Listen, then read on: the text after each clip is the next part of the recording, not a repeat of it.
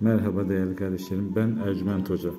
Bugün sizlere kına büyüsünü anlatacağım. Kına büyüsü size yapıldığında üzerinizde birçok haklar olumsuz bir şekilde almaktadır. Bunun bozulması için de bu işlemi hazırlıyoruz.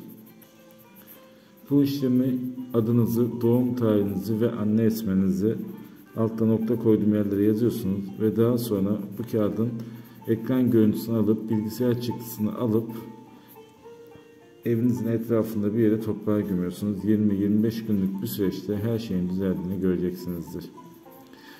Arkadaşlar ücretsiz bakım yaptırmak isteyen kardeşlerim bana Ercüment Hocam Instagram kanalından ulaşıp hocam ben de ücretsiz bakım yaptırmak istiyorum diye yazmaları yeterli. Bunu yapan tüm kardeşlerimin ücretsiz bakımını yapıyorum.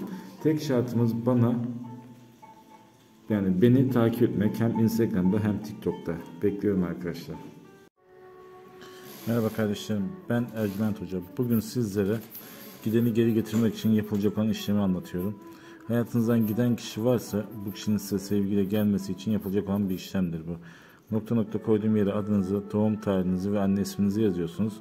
Karşı tarafın da aynı şekilde bilgilerini yazıyorsunuz. Ve daha sonra bu kağıdın ekran görüntüsünü alın, bilgisayar çıktısını alın ve bu kağıdı evinizin etrafında bir yere toprağa gömün. 20-25 gün içinde güzel sonucunu alacaksınız. Ama bunu yapmadan önce Ercüment Hocam Instagram kanalından Hocam ben de ücretsiz yıldızlama bakımı yaptırmak istiyorum diye yazın. Bunu yazdığınızda ben de size orada ücretsiz yıldızlama bakımı yapıp üzerinizdeki sıkıntı problemlerin tam olarak ne olduğunu anlatıyorum. Bekliyorum arkadaşlar. Ercüment Hocam Instagram kanalından yazıyorsunuz.